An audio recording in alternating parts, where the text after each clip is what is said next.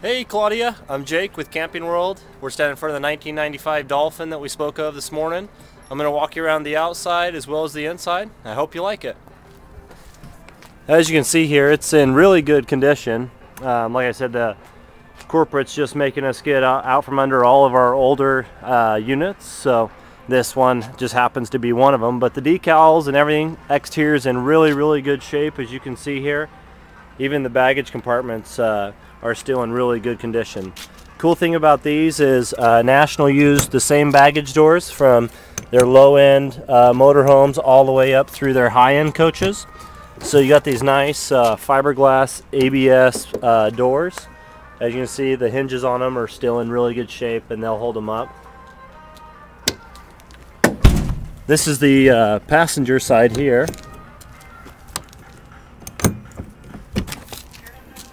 Or excuse me, driver's side. Uh, here's where your water system is. City water fill, outside shower. There's also a drain right there so you can wash that compartment out and keep it nice and clean.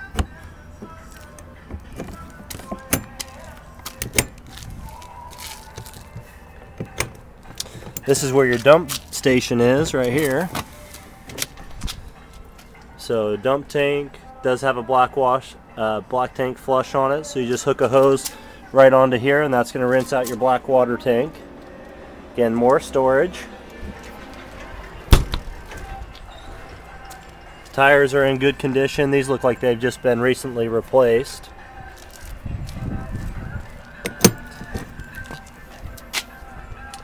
Another pass-through storage. This is uh, where your shore power cord is.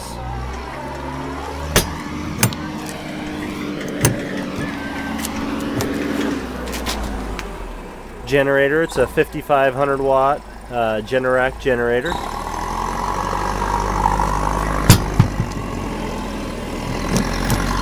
Your fueling for the fuel tank is on the driver's side here. Looks like it's got a little bit of a scuff there.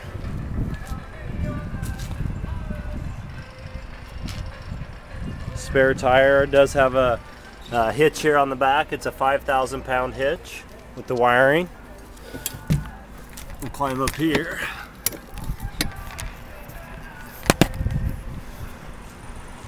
Show you the roof.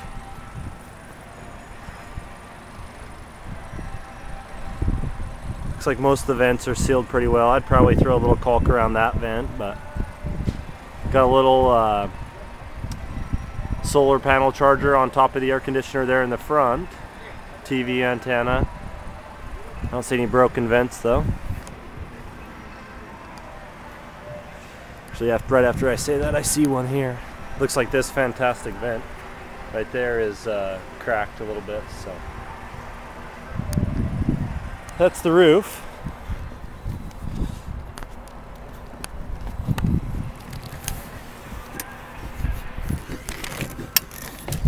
Hopefully I don't make you too sick coming down that thing. So. Again, this side's in good shape as well. Does have an awning. Uh, that's a metal wrapped awning. We'll look through all these compartments here as well. This one here should be propane, where your propane's located. And that is a 24 gallon tank. We'll fill that up when it leaves here.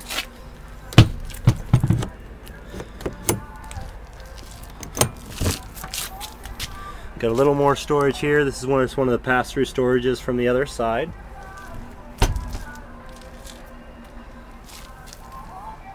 Good tread there.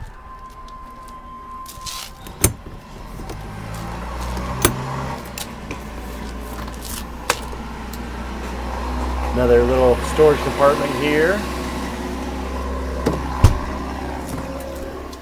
Another storage compartment here right in front of the door as well.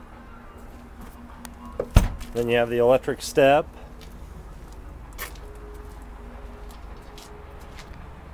Front windows look like they're in good shape. I don't see any big cracks or uh, big chips.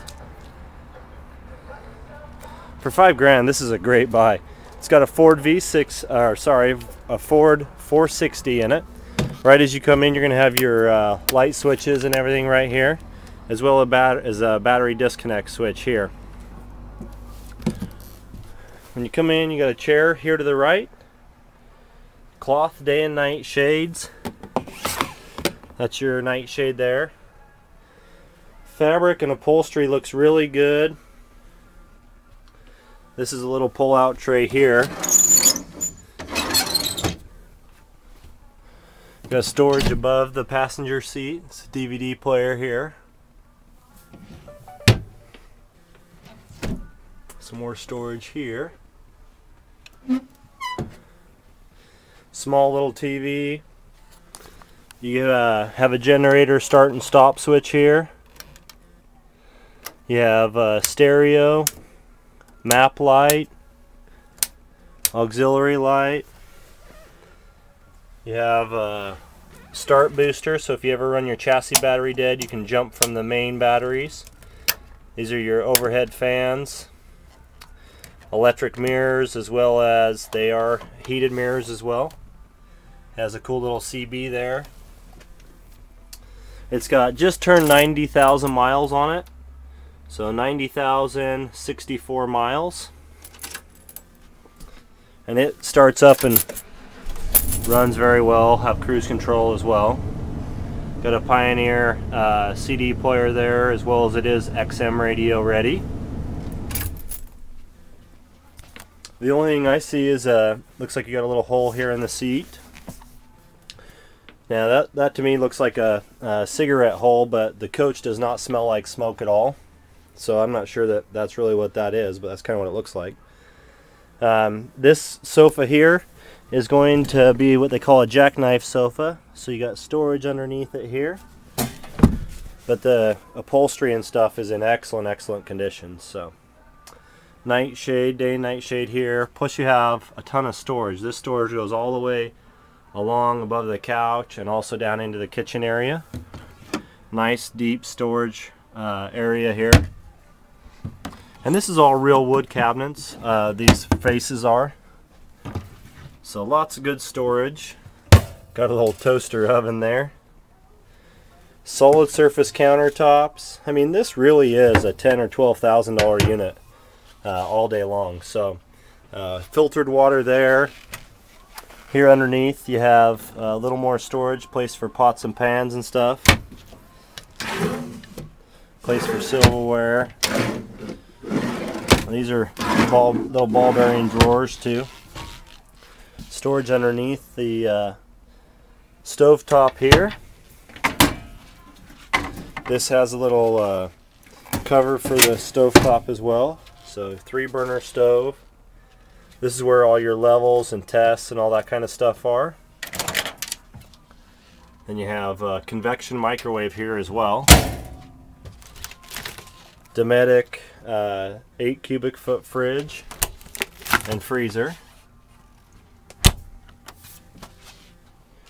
Now across from the kitchen is the dinette. You're going to have uh, storage underneath the dinette. You got these little latches here and these nice drawers, uh, little cubbies pull out here.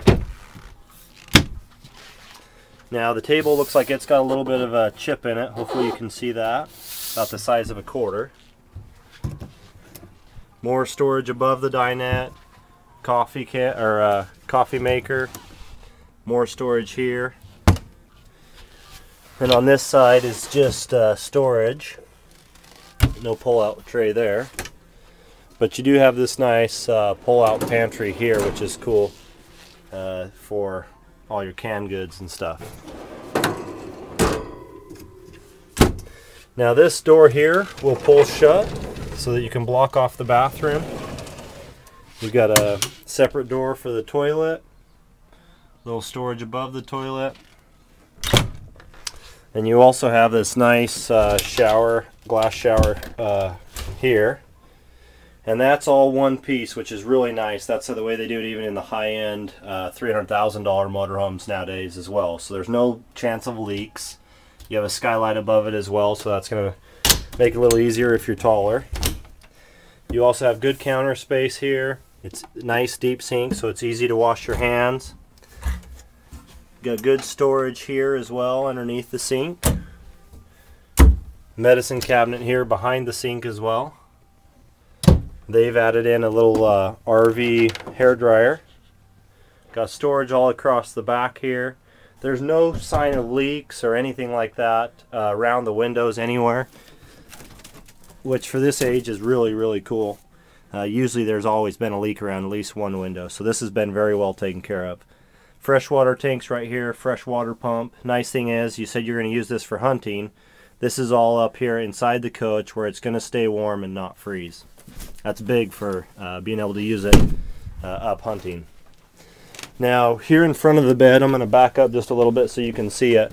But you'll see you got uh, two big closets here, plus six drawers, and then another uh, closet here. These are adjustable shelves in that closet.